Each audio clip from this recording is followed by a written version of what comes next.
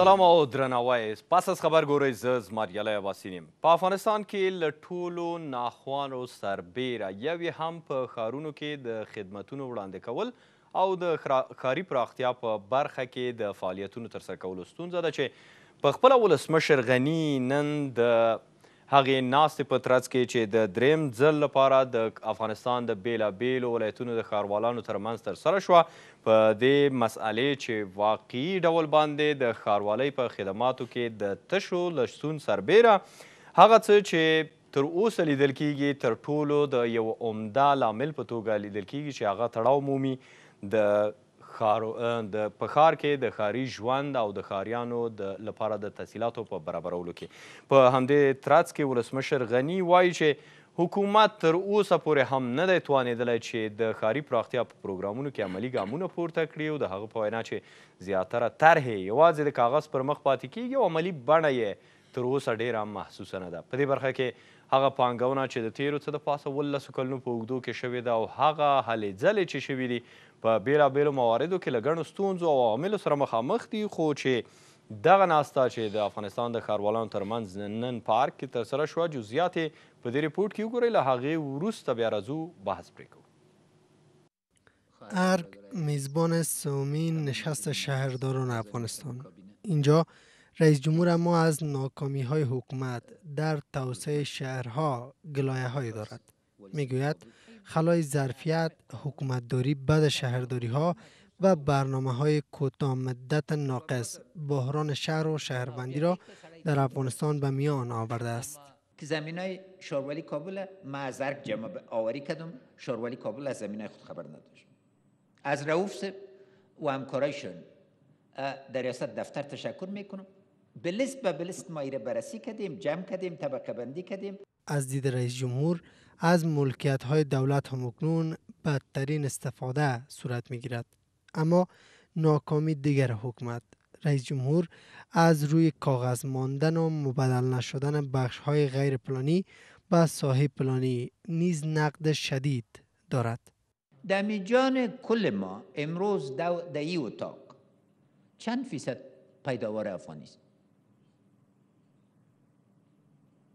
مانش چیست؟ ما شهرهای تولیدی ایجاد نکردیم.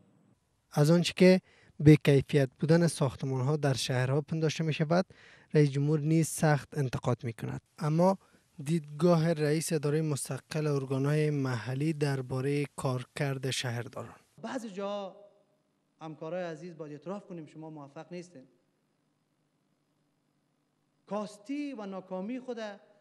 زیر چتر و بانه غاصب پنهان نکنیم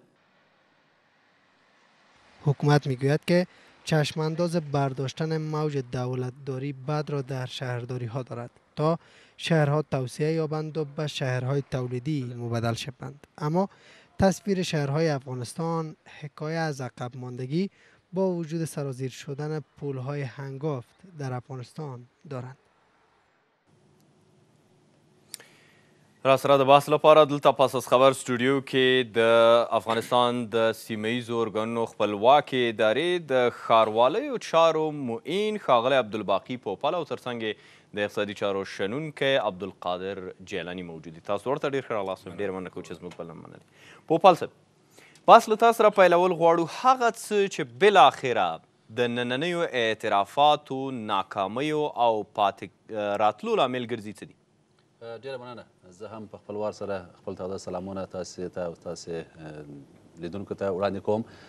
بحث پر درو اساسي نقطو باندې دی، یو خو الحمدلله هلته ډېر لاسته راوړنې ذکر شولې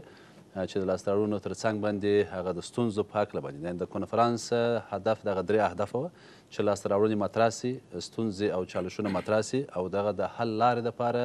مشترکاً بحث پر وشي. بحث چون هغه لاسته راوړنې ذکر شولې، هغه انعکاس شاید نه وي پیدا کړی، خو د ستونزو په هکله باندې موږ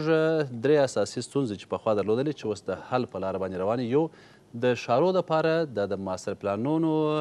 نه جوړېدل پر وخت زمان باندې، هر وخت چې هغه لوړه دیدګاه نه وي او ښارونه جهت پیدا نه کړي، نو نوره زمینه د غټو کارو لپاره چې مثلا صنعتي پارکونه دي، هلته تولیدي فابریکې باید ایجاد شي، هغه هم د کندۍ سره مخامخ کېږي، ولې په ښارونو کې ډېر مثبت بدلون راغلي دي، نن مثلا تاسې وګورئ د هرات هغه ښار چې پنځه کاله مخکې و، هغه ښار اوس نن نه دی،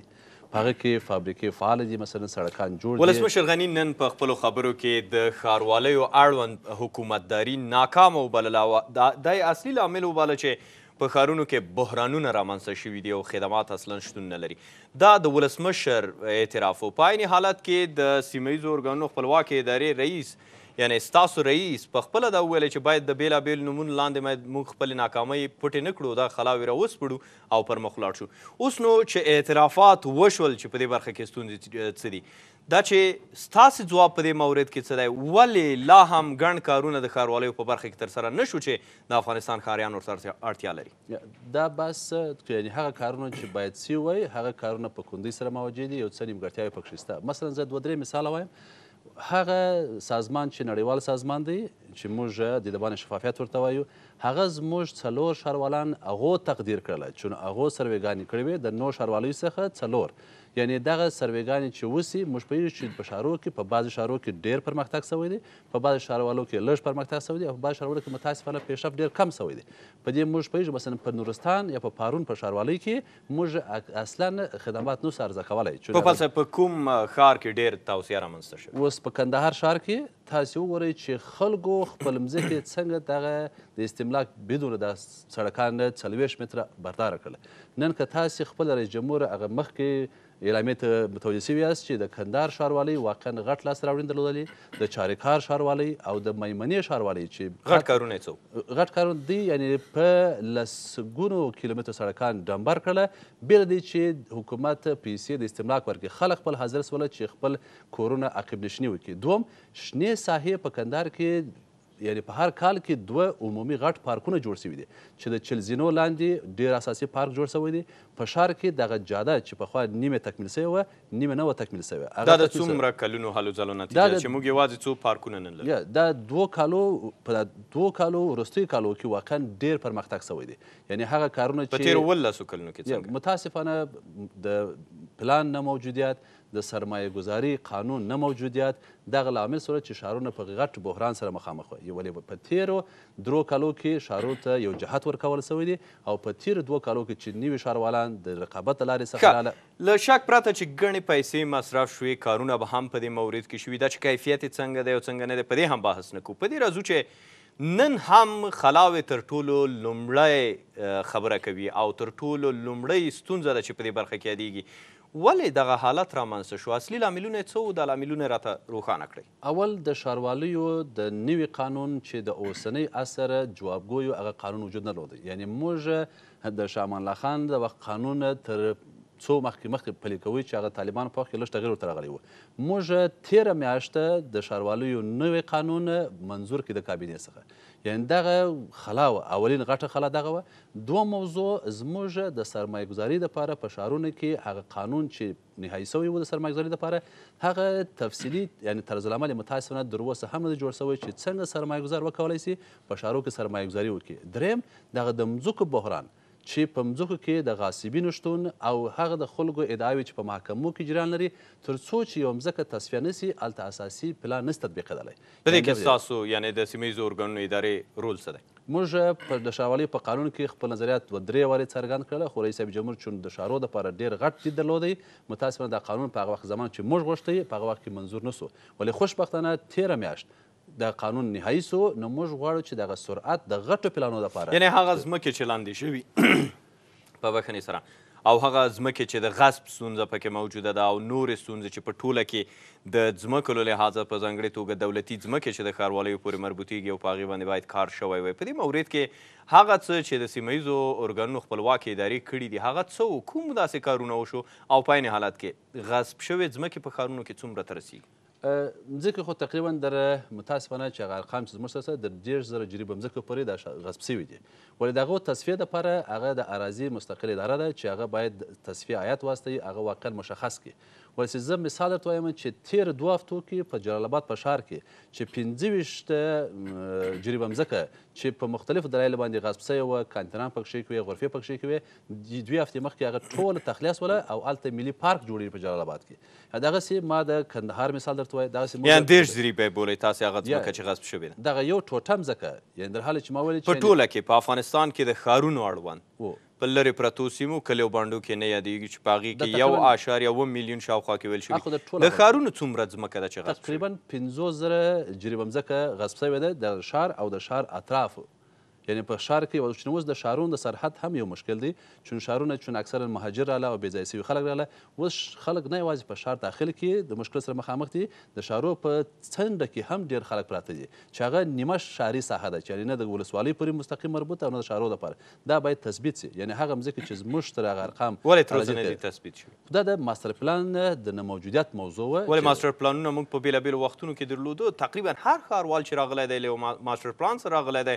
او ولسمشرانو ته یې وړاندې کړي دا پلانونه تر ننه پورې بېلا بېلو چارواکو ته یې وړاندې کړي، اراضي ادارې سره یې دا مسایل شریک کړي، نتیجه څه شوه؟ په دې مانا چې ماسټر پلان تطبیق نه شو، د کاغذ پر مخ پاتې شو لکه ولسمشر چې انتقاد کوي. د یو اړخ یې د هغه موضوع وه چې ماسټر پلانونه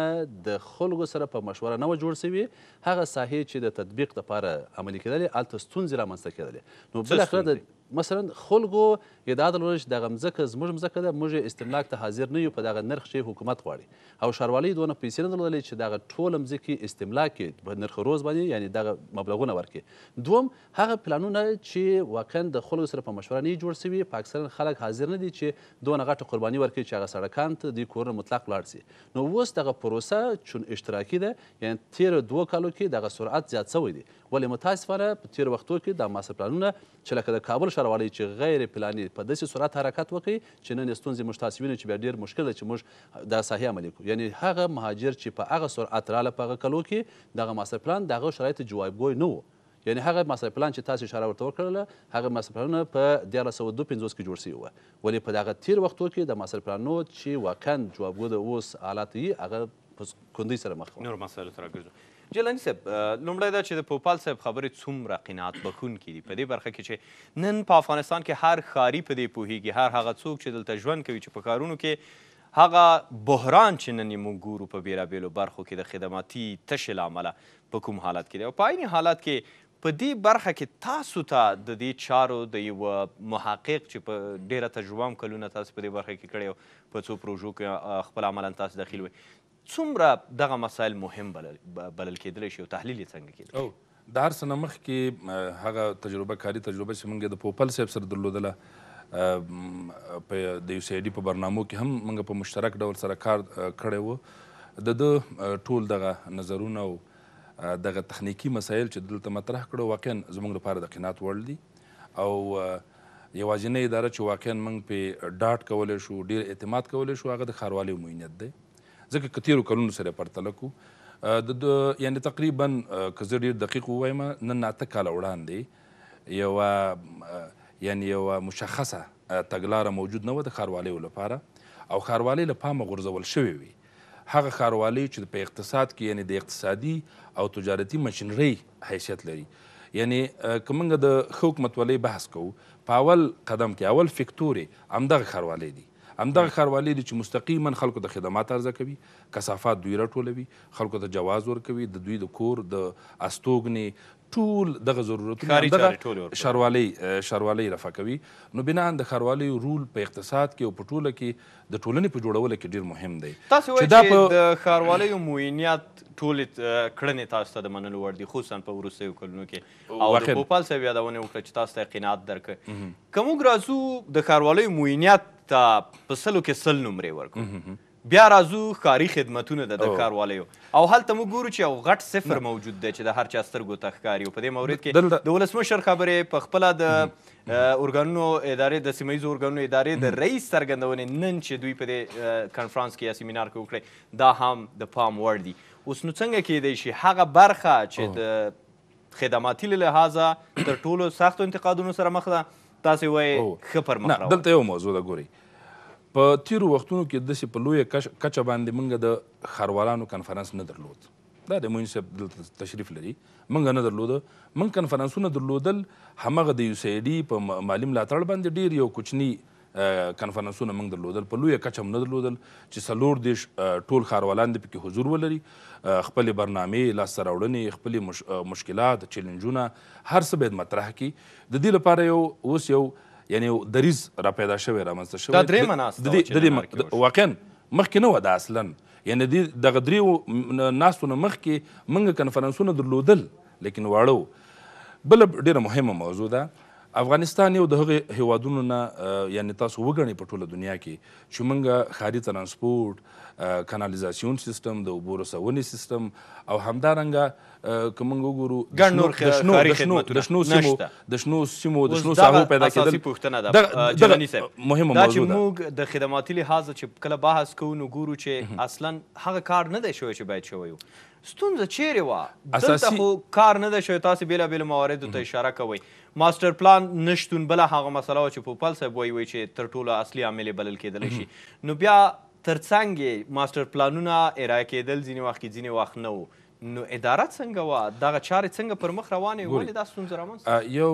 موږ د هر ښار لپاره مشخص ماسټر پلان لرو. عمومي ماسټر پلان دی چې د هغه مطابق بیا تطبیقي پلان جوړیږي او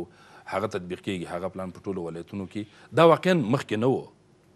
دا یو نوی کار دی مثلا که موږ وګورو دغه ځینې ولایتونه چې معین صاحب نوم واخیسته حتی د لوګر ماسټر پلان هم دا اوس دا دی تقریبا نهایي شوی دی همدارنګه د نورو ولایتونو ماسټر پلان دی چې هغه هم نهایي شوي دي د کریډا د ځونې پایتخت اداره ده چې هغه هم دوی سره کار کوي په مشترک ډول زه هیڅکله نه غواړم چې طرفداري د یوې ادارې وکړم په هغه چارو کې چې هغه غښتلې نه وي، پیاوړې نه وي، مګر ځینې حقایق باید ومنو. بودجوي مسایل به وجود وي، څه شی به وجود وي جیلاني صاحب؟ څنګه؟ بودجوي ستونزې تاسې لیدې په دې برخه کې؟ ګورئ په دې برخه کې وي ستونزې ګڼې ستونزې وي. مثلاً. ښاروالۍ خپله ډېر عایدات لري، دغه عایدات لومړی دا چې شفافیت یې رامنځته نه شو. که چېرې شفافیت رامنځته شوی او د ښاروالۍ عوایدو ته وکتل شي، نو بیا د دوی دغه پیسې او عواید کوم خوا ته ځي؟ پوپل صاحب هم ځواب راکړي. فکر نه کوئ چې دا په خپله یو جدي سوال ده د افغانستان د ټولو خلکو لپاره او په ځانګړې توګه هغه څوک چې ښارونو کې ګوري ژوند کوي نه ټرانسپورټیشن شته نه کانالیزیشن شته نه په دې برخه کې نور هغه خدمات دي چې ښاروالۍ یې باید وړاندې کړي د هغه مسؤلیت له مخې چې قوانین ورکړي ستونزې په خپل ځای موږ لرو ستونزو نه موږ انکار نه کوو ستونزې موجود دي نو حل چیرې دی په حل باندې که بحث کوئ حل چیرې د ستونزو لپاره په ډېرو مهمو نقطو کې درته تاته زه دا خلاصه کړم مثلا د ماسټر پلان نه شتون دا یو اساسي ستونزه وه. د غاصبینو په اړه باندې هغه تقریبا تر څلور نیم میلیونه پورې جریبه پورې ځمکې چې په افغانستان کې غصب شوې دي ډیری ښاري ځمکې هم غصب شوې دي د دې په ضد باندې مبارزه کول د بل اقدام دریم اقدام هغه ښاروالۍ ګوري ګوري دغه غاصبین چې ورځ تر بلې باندې تاسو وګورئ هغه غاصبین چې د تیلو پمپونه به جوړ کړي هغه ټول ړنګ شوي دي په ډیری ولایتونو کې ړنګ شوي دي یو تیلو پمپ دغلته په دارلمان ته نږدې په ګذرګاه سیمه کې ړنګ شو تاسو وایي پټرول پمپونه نه نه په ټول ولایتونو کې نور چیرې داسې د غصب ځمکې راوګرځېدې پوپل سوي پنځوس جریبه ځمکه چې هغه ارقام دلته موجود دي تقریبا تر دې درې چنده لوړ دي چې پوپل صاحب دوی وایي په دې مورد کې اوس اساسي ستونزه دا ده چې دې مورد کې هم کار وشو که ونه شو ارقام خو داسې نه وایي ګورئ ما درته وویلې یو هغه ستونزې دي مثلا ما درته وویلې د هر د هرې ښاروالۍ عواید د بلې ښاروالۍ سره فرق کوي مثلا هغه ښاروالۍ چې هغه لویې ښاروالۍ دي مثلا هرات او قندهار او بیا ننګرهار او مزار شریف دا هغه ښاروالۍ دي چې لویې ښاروالۍ دي عواید میلیارډو ته رسیږي مثلا د کابل ښاروالۍ عواید یو دا موضوع ده بل طرف ته که موږ وګورو هغه دومه درجه او درېمه درجه ښاروالۍ دي هغوی عواید فرق کوي حتی هغوی عادي مصارفات نشي پوره کولای بیا دلته ډیره مهمه موضوع دا ده ګوري ګوري ګوري هغه ثابت عواید جلانی صاحب عملی کارونه چیرته وشو عملی کار په حق لرات وي تاسو چې په دې برخه کې کار کوي کار مو کړی په دې برخه کې تاسو تحقیقات دي تاسو تحلیل کوي نو نتیجه را سره شریکه کړئ نتیجه څه شو نن خو ټول افغانستان کاریان فغام کوي. زه ډېره مهمه موضوع درته ووایم، زه نه غواړم چې د پوپل صاحب په دې کې طرفداري وکړم، دا خو کاندید هم نه دی، مطلق زه ولسي جرګې ته کاندید هم نه دی چې زه ورته کمپاین وکړم. داسې ښکاري لکه دوه چارواکي په هممهاله د سیمه ییزو روغتونو خپلواکې ادارې چې راسره بحث کوي. نه نه نه، هېڅکله داسې نه دی، هېڅکله داسې نه دی. ما تاسو ته وویلې یوه اساسي ستونزه همدا ده چې کله په ستونزو باندې چې کله خبرې کېږي، نو ټول خلک همغه ستونزو ته توجه کوي. خو ستونزې ډېرې دي. بېله شکه موږ ستونزې لرو. ما تاسو ته مخکې وویلې چې د ښاروالیو لپاره چې قانون نه وي صحیح ده ماسټر پلان موجود نه دی د ښارونو لپاره دا یو اساسي ستونزې دي دا ستونزې دا اوس هوارې شوې دي په دوم قدم کې د ښاروالیو معینت ښه اقدام د په ټوله کې چې زه واقعا استقبال کوم هغه دا دی چې ځینو ولایتونو ته تشویقي بودیجه د کارکردګۍ په په په کتلو سره ورکول کیږي هر ښاروالي چې ښه کار کوي تشویقي بودیجه ورکول کیږي مثلا هغه دومه درجه ښاروالي درېمه درجه ښاروالي چې ثابت عواید حتی عادي مصارفات نه پوره کوي ډېر زیات شافي پروژې نشي تطبیق کولای پوپل صاحب ته وخت ورکړي یو ځل بیا پوپل صاحب دوه مسایل یو دا چې د عوایدو له لحاظه د ښاروالیو د سیستم شفافیت ولې تر اوسه رامنځته نه شو یا د شفافیت سیستم؟ دویمه مسله دا چې ولې ښاروالیو د ځمکو داسې ویش ترسره کړ چې هغې کې حساب اصلا نه موجود؟ ښاروال به چاته کیلي ورکوله، چاته به یې پارک ورکوه، چاته ولې پوښتنه نه کیده؟ ولې؟ بحث اساسي په دې دی چې که موږ افراط او تفرید ته ولاړ سو نتیجې ته نه رسیږو که موږ وایو چې ښاروالېګانې موفقه وې دا هم صحیح ده کامله خبره نه ده او که وایو چې هیڅ کار نه دی سوی تاسې ښار ته ووځئ هره ورځ پکې ګرځئ پوپل صاحب تاسو ته به د ښاروالیو د موفقیت او ناکامۍ خپله داستان وایي هر واټ او هره کوڅه به یې دا داستان درته وایي نن موږ په دې غږیږو چې عواید ولې تاسې د ټولو ښاروالیو مسؤلیت لرئ د ښاروالیو لپاره ولې تر اوسه یو عایداتي شفاف پلان او سیستم رامنځته نه شو؟ زه به دا درې نقطې خلاصه کړم، یو موږ پروژ کال اووه دېرش فیصده ازدیاد د عوایدو په ثابته عوایدو کې درلود، دا ارقام دي، سږ کال موږ در اوسه پورې اتلس فیصده ازدیاد د عواید لرو، یعنې د ښاروالۍ عمومي بودجه کې دا او بل موږ هغه سیستم چې معرفي کړی دی، آی ایف ایم ایس، انتیګریتد فاینانشل منجمنټ سیستم، دا په اوولس ښاروالۍ کې اوس د تطبیق لاندې دی، یعنی موږ دغه درو دیرش ولایتی شوراګانی چی ورګنی مهال دا ټوله د شاروالی عاید د انترنیت د لاری څخه په مرکز کی وصلیږی لکه د وزارت مالیه افمیس چی هره ورځ موږ. د کابل ښاروال تیری خبری یادیږی د پخوانی ښاروال ویل چی سیستم کمپیوټرایز کوو دلته به ای ګورننس یا الکترونیکی حکومت داری نه ګټه اخیستل کیږی ګڼ ځوانان استخدام چاری پیل شوی میټرو جوړوو او ورته نور ډیر شیان نن د یو خیال په توګه پاتی شو ښاروال ولاړ او خبرې همداسې پاتې شوې، نه کمپیوټرایز شو شی، نه عواید معلوم دي او نه مټرو درک لګیږي، نه یې هم نور مسایل. دا د بیلګې په توګه د پایتخت وضعیت دی، دې ته ورته نور د ولایتونو اوس د سیمه ییزو ارګانونو خپلواکې ادارې په ځانګړې توګه ستاسې معینیت د ښاروالیو معینیت په دې برخه کې څه اقدام وکړ، څه ولې؟ خلاوی چیری وی. دا دوه شیان سره جلا کړو، ښاروالۍ کابل مستقل ده، هغه په اورګنای محل پورې هیڅ ارتباط نه لري. دا د یوې بیلګې په توګه یاد شو. د ښارواليو مسله ده هغه څه چې د افغانستان د ټولو ولایتونو پورې اړه لري. ما وس تاسې ته ویل چې یوازې تاسې د خوست د خلکو څخه پوښتنه وکړئ، د خوست خلک راوغواړئ، یعنې د خوست ښاروال در سل تقدیرنامې زیاتې اخیستې دي په روږد کال، در سل تقدیرنامې. زموږ د چاریکار ښاروال تاسې د چاریکار د خلکو څخه پوښتنه وکړئ چا تقدیرنامې ورکړي مدني ټولنې ورکړي دي نړیوالې سازمانونه ورکړي دي ما تاته ویل چې دیدبانې شفافیت چې یو هغه نهاد دی چې ډیر انتقاد کوي پر حکومت پر ملي بودیجو باندې نن راځي زموږ درې ښاروالان ته ښه که تاسې خوست یادونه کوئ خوست کې تر ټولو غټ کار څه و؟ د خوست تاسې هغه د کرکټ میدان هغه تپه چې کرکټ بورډ جوړ کړ ستاسو مینیت رول پکې هغه سبزي پارکونه چې مو جوړ کړی دي هغه سرکان چې مو جوړ کړی دي هغه مارکیټونه جوړ شوی دي یعنی هغه وخت بحث ښه خوند کوي چې تاسې د خلکو څخه د مدني ټولنې څخه پوښتنه وکړئ چې د خوست ښاروال چی شي کړی دي د هرات ښاروال چی شي کړی دي خلک همدا اوس ګوري ستاسو خبرې هم اوري پوپل صاحب زموږ بحث هم ګوري بیخي فکر کوئ خلک قناعت کوي تاسو ووایئ چې ښارونو کې ډېر خدمات وړاندې شو خلک هم وایي چې بالکل ښاري ستونزې بیخي ډېرې راکمې شوي دي او ستونزې کمې دي کار ډېر شوی دی تاسو خپل دا قضاوت زه دا وایم چې په دغه تیرو دوه درو کالو کې په ښاروالیو کې واقعا ډېر کار شوی دی ولې په هیڅ صورت دا کافي نه دی په دې خاطر چې په ښارو کې د دوولس کالو نه د دغه دېرش کالو جنجالونه پاته وه، ښاروالانو انکشافي بودجه ډېره کمه وه، خلکو وس موږ اویا فیصده کورونه غیر پلاني دي. یعنې ماسټر پلان نه و موجود. ماسټر پلان نه و. له هغه مهاله چې د سیمه ییزو ارګانونو خپلواکه اداره رامنځته شوه، دا پلانونه ولې جوړ نه شول؟ زموږ دا تفکیک د وظایفو دی ماستر پلان جوړول د محترم د وزارت ښارسازي وظیفه ده کانالیزاسیون چې تاته اشاره وکړه دا واقعا ډیر اساسي ستونزه ده دا باید ډیر جدي توجه ورته وسی دا یو اداره ده چې مستقل ده موږ د ماستر پلان تطبیق چې موږ ته راکول سي تفصیلي نه پلان موجود یعنی پلان نه جوړوي موږ په دغه نوي قانون کې چې دوی هفته مخکې پاس په دې معنی چې پلان چې جوړ شو بیا تاسې یې تطبیقوئ. تطبیق او ښاروالۍ وظیفه پلان تر اوسه شتون نه درلود نو تاسې هم څه نه دي تطبیق کړي. یا پلانونه ما ویل چې ماستر پلان چې شارو ته مکمل جهت ورکړي ولې موږ عرضه د خدماتو کړې یعنې موږ په هر کال کې در سل کیلومتره د هر کال موږ سړکان ډېر قیریزي کړي دي او کلک کړي یعنې ما تاسې ته مثال ویل چې تاسې د کندهار ښار وګورئ د هرات ښار وګورئ د قیریزۍ مسایل د فایدامه وزارت کار وو چې په دې برخه کې تر ډېره پورې وو. فایدامه د ښار د باندې سړکونه کار کوي چون تفکیک د وظایفو دی. یعنی ښاروالۍ د ښار سړکان یعنی فایده مه هیڅ وخت په داخل ښار کی کار نه کوي مګم هغه ترانزیت ښار سړک چی تیر شوی زیاتره حلقوی موارد و چی فایدامه وزارت په ښارونو هم سړکونه تیر کړه په دی وخت کی هغه سړکونه چی د بیلګی په توګه راته ویلای شی چی د سیمه ایزو ارګانو خپلواکه اداری کړی کوم سړکونه و په کومو ښارونو کی. موږ یعنی موږ درته ویل چی موږ په روږ کال لس کیلومتر سړک په هرات کی موږ قریضې کښې موږ دوولس کیلومتر سړک په قندهار کښې قریضې کښې موږ یعنی پنځه کیلومتر سړک په سمنګان کښې قریضې کښې یعنی موږ دغه هر ښار په خوست کښې موږ یعنی شپږ کیلومتر سړک قریضې کښې یعنی دا هغه سړکان دي چې تاسې د خلکو څخه پوښتنه کولای شي ولې دا خبره زه منم چې دا هغه خدمات چې خلک توقع لري په اوسنۍ بودیجه او په دې غټو پلانو نه شتون سره دا نشي کولای چې ټوله بودیجه د ښاروالیو څومره ده؟ زموږ د ښاروالیو تقریبا شپېته میلیونه ډالر ته رسیږي دا بودیجه د ټولو ښاروالیو.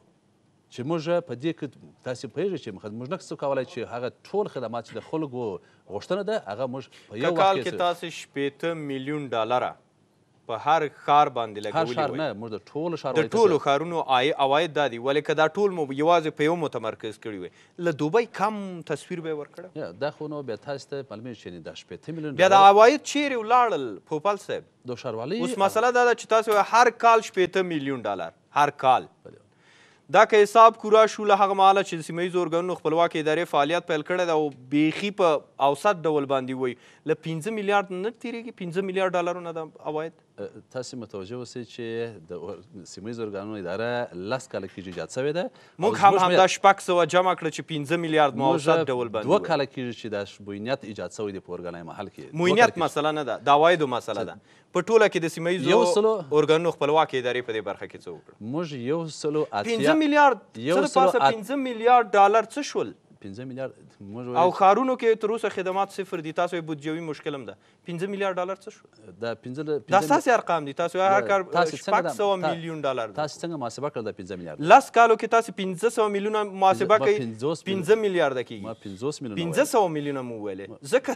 د ټول نه حیرانتیا وړ. د ټول پنځوس میلیونه ډالره د ښاروالۍ د ټولو ښاروالۍ بودجه ده یعنې په لس کالو کې دا پنځه سوه میلیونه کیږي او یو سلو اتیا ښاروالۍ موږ په افغانستان کې لرو چې درو دېرش یې زموږ د مرکزي ولایتونو دي موږ نور په ولسوالیو کې ښاروالۍ لرو موږ په اقچه کې په اندخوی کې په اقینه کې په بولدک کې په تورخم کې یعنی موږ یو سل اتیا شاروالي دا پیسې تقسیم کړي. ډیره زیاته مننه کوو کور مو ودان جناب پوپل صاحب جلانی صاحب چې تشریف مو راوړی او پس از خبر په همدې ځای پای ته رسو پاک الله مو.